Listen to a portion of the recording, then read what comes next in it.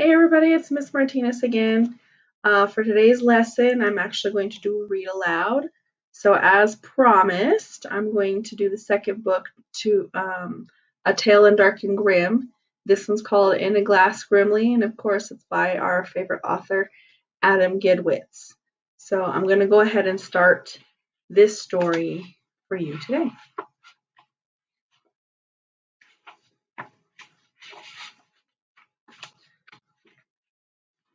Once upon a time, fairy tales were horrible. Not boring horrible, not so cute you want to jump out the window horrible. Horrible like they define it in the dictionary. Horrible. Adjective. Causing feelings of horror, dread, unbearable sadness, and nausea. Also tending to produce nightmares, whimpering for one's parents, and bedwetting. I know, I know. You're thinking, fairy tales? Horrible? Please. I get that. If you've been raised on the drivel that passes for fairy tales these days, you're not going to believe a word that I'm saying. First of all, you're probably used to hearing the same boring fairy tales over and over and over again. Today, children, we're going to read a Cinderella story from China. Today, children, we're going to read a Cinderella story from Madagascar. Today, children, we're going to read a Cinderella story from the moon. Today, children, second of all, those fairy tales that you hear over and over and over again aren't even the real fairy tales. Has your teacher ever said to you, Today, children, we're going to read a Cinderella story where the stepsisters cut off their toes and their heels with a butcher's knife, and then they get their eyes pecked out by birds. Ready?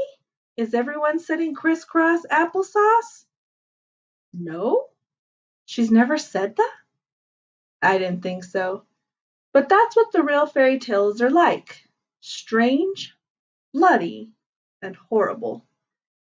Two hundred years ago in Germany, the brothers Grimm first wrote down that version of Cinderella, in which the stepsisters slice off pieces of their feet and get their eyes picked out.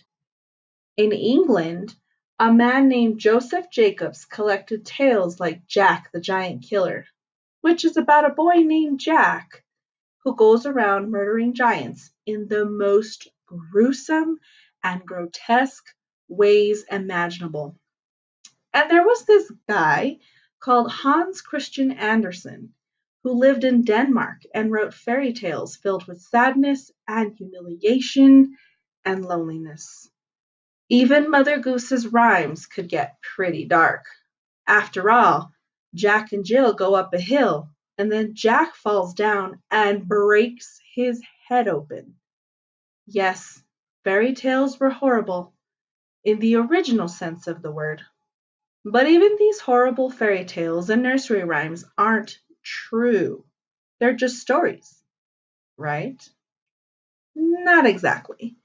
You see, buried in these rhymes and tales are true stories of true children who fought through the darkest times and came out the other end stronger, braver, and usually completely covered in blood.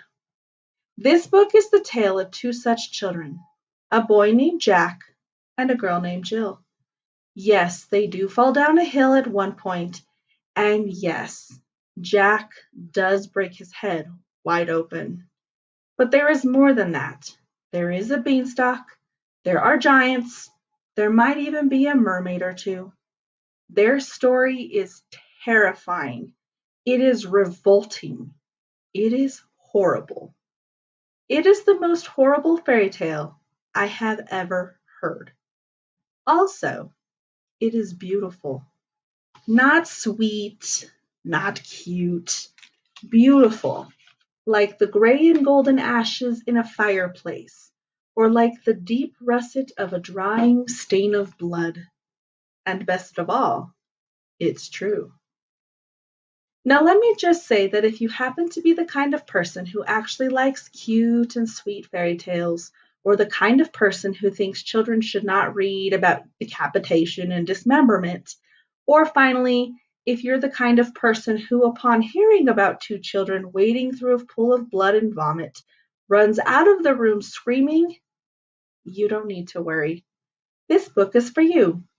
There is no decapitation, dismemberment, people without clothing, or pools of blood and vomit anywhere in this book.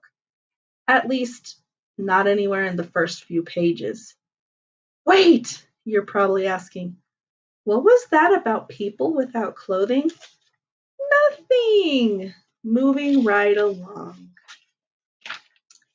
This chapter is called The Wishing Well. Once upon a time, there was a kingdom called Märchen, which sat just next to the modern countries of England, Denmark, and Germany. I need to interrupt already. I apologize. No one in the history of the world has ever pronounced the word Märchen correctly. Some people say Marchin, like what the ants go doing if you're from Texas, and that's not right. Some people say Märchen. That's closer, but still wrong. Others say Märchen. That's about as close as I've ever gotten to pronouncing it right, so it's probably good enough for you too.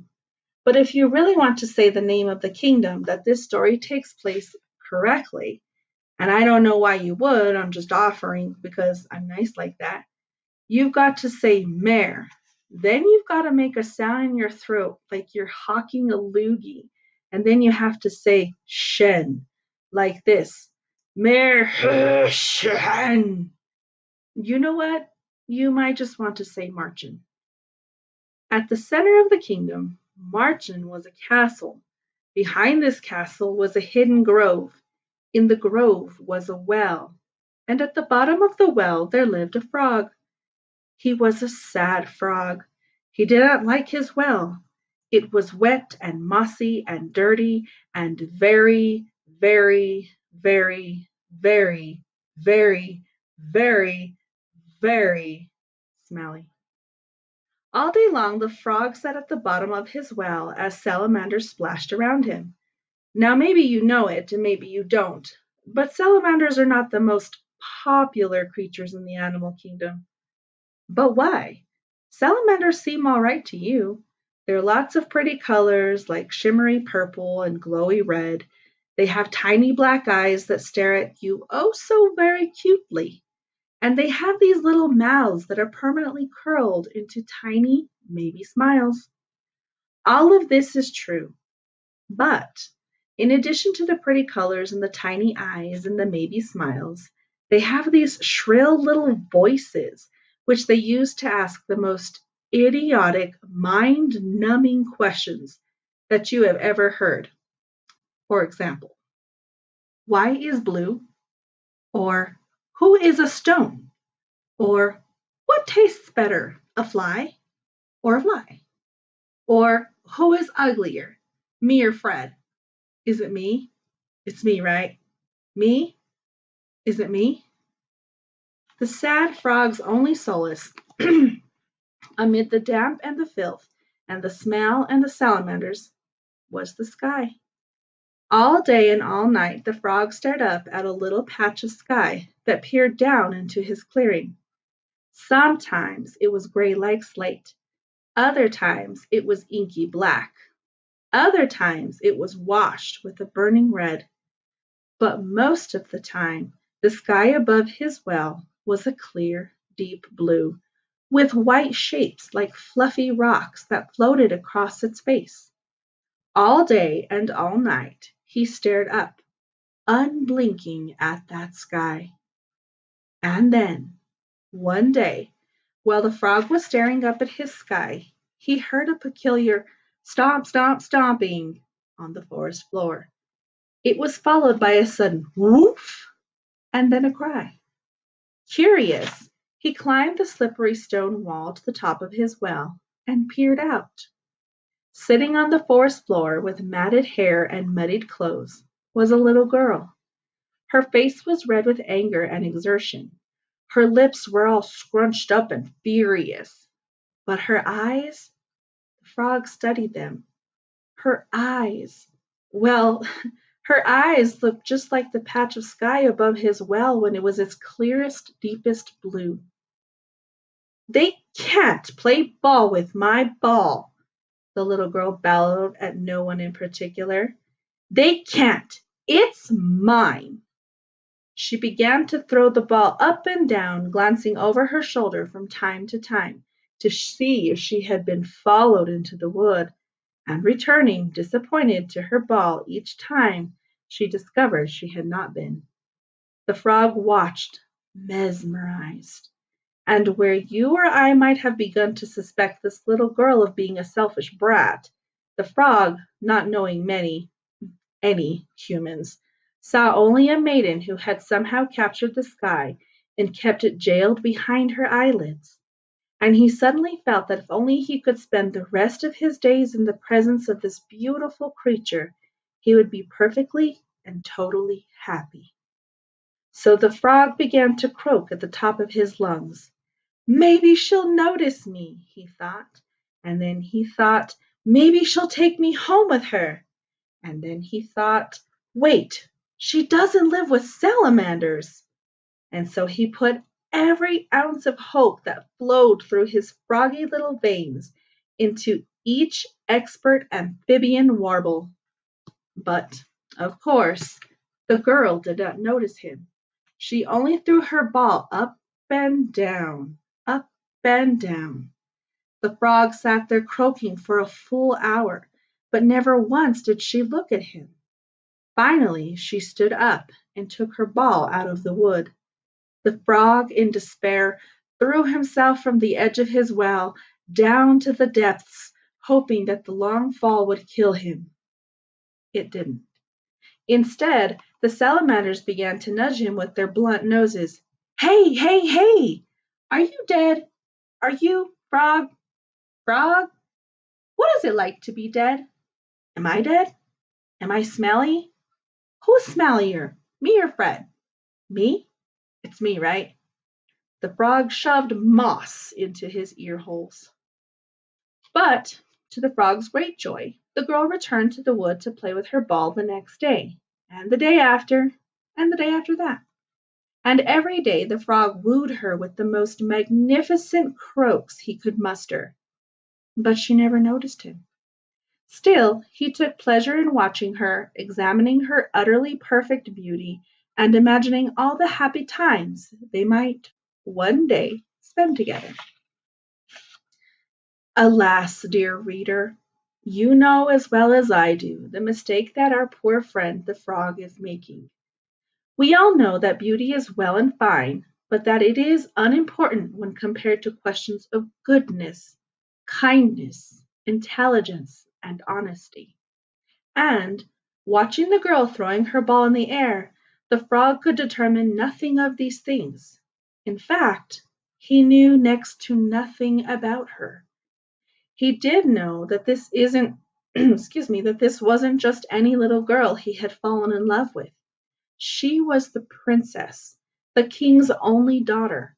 He also did not know that as pretty as she was, she was a horror. Sweet and pretty on the outside, cruel and selfish on the inside.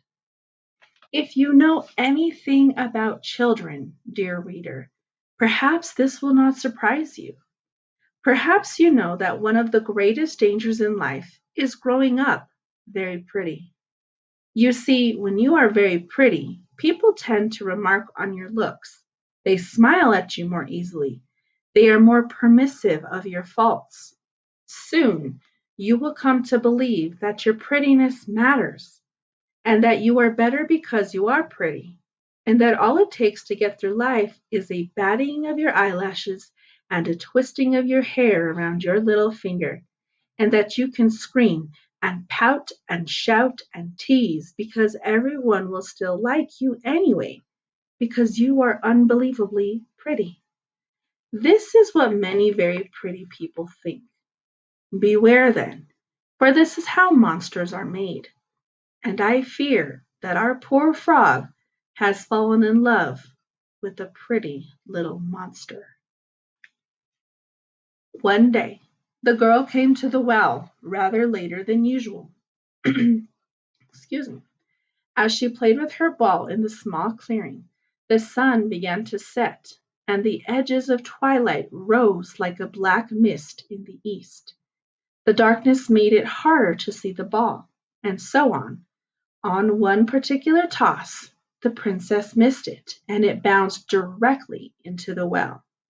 The girl yelped and ran to the well's edge. She peered down into the dark. The frog, who had never been so close to the girl, stared at her and tried not to hyperventilate. Suddenly, the girl began to wail like a foghorn. She wailed and wailed and wept and wailed some more. Well, it pained the frog to see her like that. He croaked at her, trying to comfort her, but she paid no attention to him. Oh, if only she could hear me, he thought. If only she knew I was trying to help her. As the girl wept into the darkness of the well, tears ran down her face, dropped from her dimpled chin, and splashed into the black water below. Far up above, the first few stars had just begun to appear in the sky. The tears that fell into the well shook the surface of the water, and with it the stars' reflection. Now maybe you know it, and maybe you don't. But this is the only way to wake the stars. And awake they did. Meanwhile, the frog was trying with all his might to croak something that the girl might understand. I can get your ball, he tried to tell her. I can help you, beautiful, radiant, perfectly non amphibious creature. And as he stared into her cerulean eyes, now fading to gray in the dying light, he went beyond wanting to help her, and even beyond longing to help her. He wished for it in loud, croaking, frog wishing sounds. Well, the stars heard his wish, and they granted it. What? The stars heard the frog, and they grant wishes? Yes, they did. And yes, they do. Without any warning, his croaks became perfectly comprehensible to the girl, and what had before been ribbit, ribbit, ribbit became, Please, beautiful girl, let me help you. The girl stood up like a bolt. Who said that? she asked. I think I did, said the frog, as surprised as she was. You can talk? she asked. Apparently, he replied, bemused. I I was offering to help you. Oh, would you? she cried, and the frog nearly fell to pieces. Oh, I would do anything. Really, I would. Just get my ball and I'll give you anything. You can have my jewels or my fanciest clothes or my crown. Your crown, the frog thought, but he didn't say it. He hadn't known that she was a princess, but of course, upon examining her again, what else could she have been? With all the gallantry he could muster, the frog replied, Of course I'll get it. You don't have to give me anything. He stopped. Her mouth, looking like an unbloomed rose, had moved just slightly as he spoke, and his emotions began to betray him. He stammered and turned a brighter shade of green. Um, he muttered, unless, he stammered, you could always, he stuttered. Anything, the princess said. I'll give you anything. I was just thinking that we might be friends. Oh, of course we'll be friends, the princess said. I think we'll be ever so close if you would just fetch my ball. Well, the princess didn't mean it, of course. It was just something nice you were supposed to say to lowly people, and apparently to frogs, so as not to hurt their feelings. She had learned all about not hurting people's feelings ages ago. But the frog, not having met many, any humans, didn't understand that, and he, poor frog, believed her.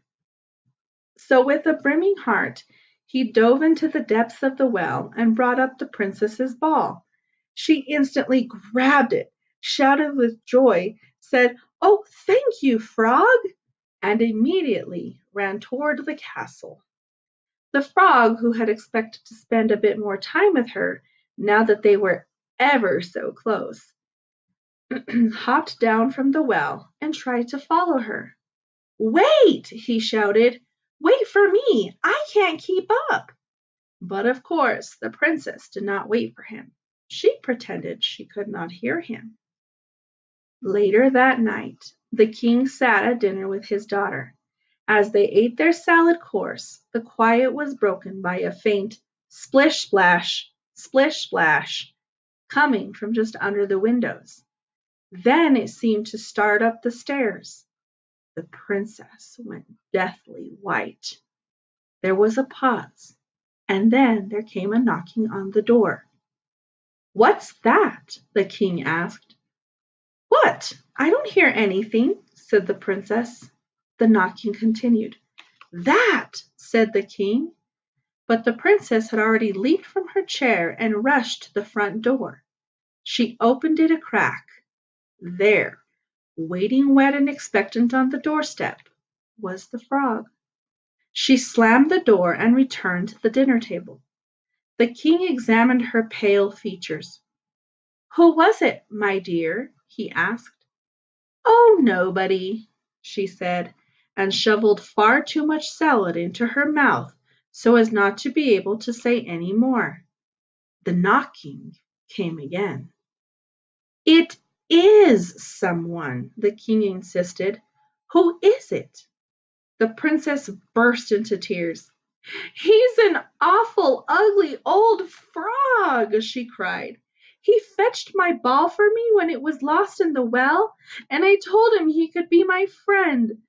Oh, it's terrible! The princess's wails echoed off the ceiling. Ah! The king, who had learned long ago that the princess could turn her tears on and off whenever she wanted to, insisted that she open the door and bring the creature in. Meanwhile, the frog nervously knocked at the door again. Perhaps, he thought, the princess hadn't seen him when she opened the door. He was rather small, of course. Easy to overlook. He repeated this to himself, attempting to cover, attempting to cover up a deeper fear that she had, in fact, seen him and slammed the door because of it. But his fears were allayed when the door opened again and the princess appeared. He broke into his broadest frog grin and said, Good evening, Princess. I was just passing by, and I thought I might stop in to call upon you. Is this a convenient time? He had rehearsed this speech during the three hours it took him to hop from his well to the castle's door. Well, it isn't really, said the princess, and she began to close the door again, when from the dining room the king bellowed, Invite him to dinner. The princess scowled. The frog's heart swelled as he saw the stunning hall, the servants lined up against the walls, the glorious dining table, and the king, the king, seated at its head. The king was very polite to him and offered him a chair, but the frog was too short to get up into it. Pick him up, the king commanded his daughter. The frog's heart began to flutter. She was going to touch him. He pictured her delicate fingers lifting him into the air. He sighed in anticipation. Anticipation, I'm sorry. Abruptly, he was dangling from one foot and just as abruptly, abruptly dropped onto the hard wood of a chair. He looked up. The princess was grimacing. I need to wash my hands now, Daddy, she said. Humiliation swept over the frog. Really? said the frog. I am quite clean. It's those dreadful salamanders who give us well dwellers a bad name. But the princess was already washing her hands in a bowl brought over by a servant. The frog sat awkwardly on his chair for a while. He certainly couldn't reach the table. He couldn't even see if there was food on it to eat. Presently the king noticed this. Honey, lift your friend up onto the table so he can have his soup. The salad course had been finished, you see, and the soup had been brought out. The frog found himself suddenly lifted and plopped down on the table, and he flushed to see the princess anxiously calling for the washing bowl again. He brought his face over the steaming saucer of soup and smelled it. Luxuriant, he said to the king. What is it? The princess let out a guffaw. The king began to turn red. Terror took hold of the frog. What had he said? The princess was laughing loudly and cruelly now. He couldn't think of what he had done wrong. He looked imploringly at the beautiful girl. It's frog's leg soup, she cried, laughing and pointing. Servants stifled their laughter behind their hands. The king, though, was deeply embarrassed. Take this away, he cried. Presently other food was brought, though the frog had entirely lost his appetite. A few times he tried to engage the table in conversation, but each time the princess snickered or insulted him. By the end of the dinner he was on the verge of tears. His dreams of a new life with the sky-eyed princess were dead. I am tired, he said. Perhaps I should go. Perhaps you should, the princess agreed. But the king said, Take him with you upstairs. He can sleep on a pillow in your room. Certainly you won't make him walk, hop, all the way home in the dark. A weasel might get him. I wouldn't care, the princess announced, and I'm not touching him again. A few of the servants chortled, and the frog wished that he had never made his stupid wish. But wishes cannot be unwished, no matter how one wishes it. A wish is a powerful thing. It had the frog in its grip, and it was not about to let him go. Finally, the king convinced his daughter, through threats and imprecations, to take the poor frog upstairs.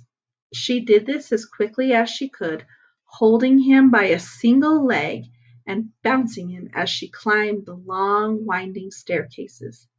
He was afraid he might come to pieces, though then they could use me in the soup, he thought bitterly. As he watched the little girl, he marveled at her lack of feeling and also at her beautiful deep blue eyes. If only she would like me, he thought. If only. They reached her room and she dropped him to the floor and went into her washroom to prepare for bed.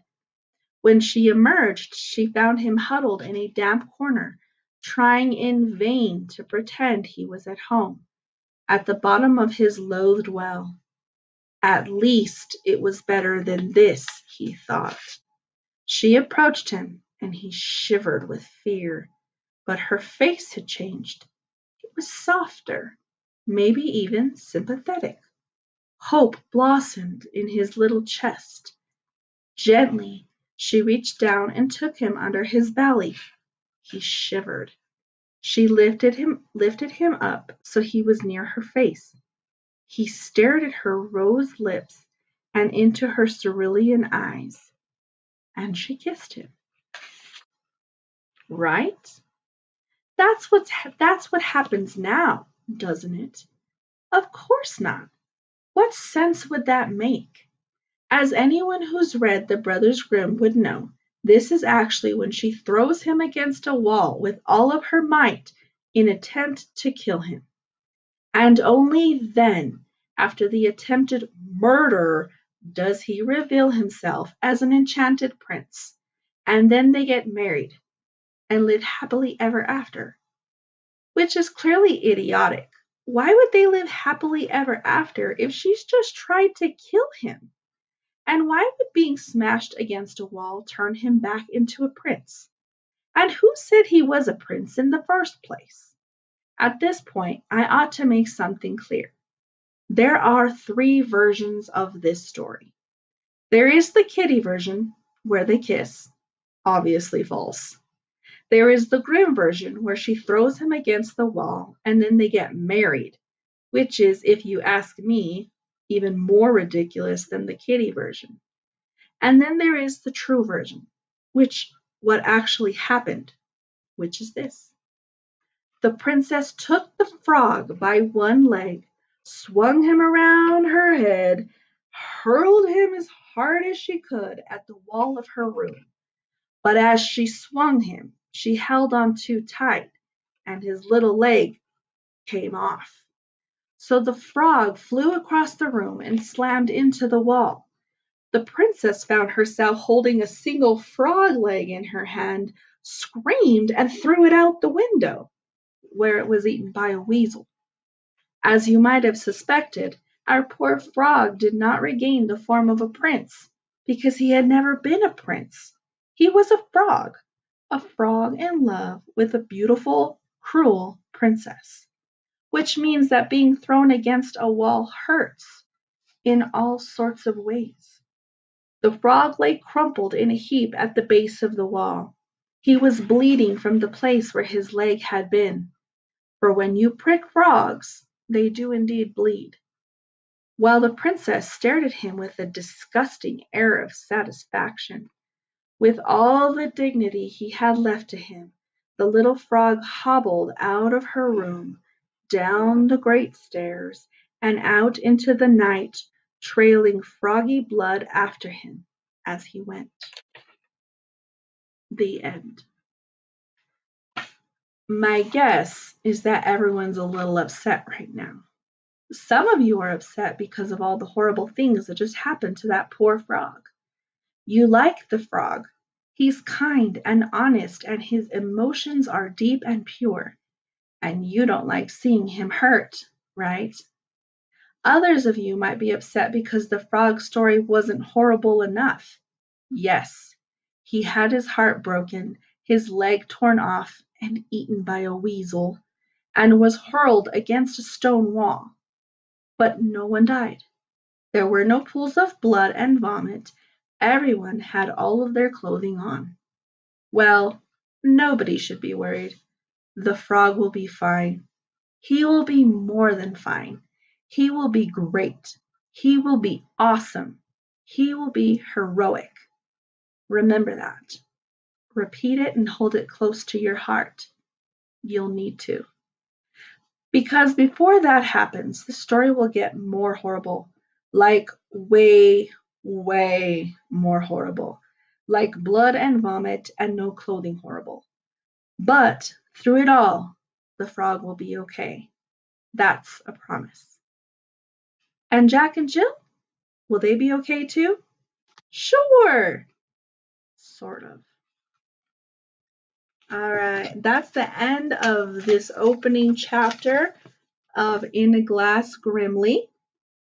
Uh, today's lesson, you are going to have to answer some questions about the story I just read you.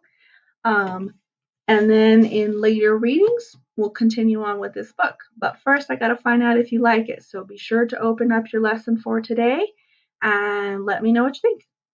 See you later.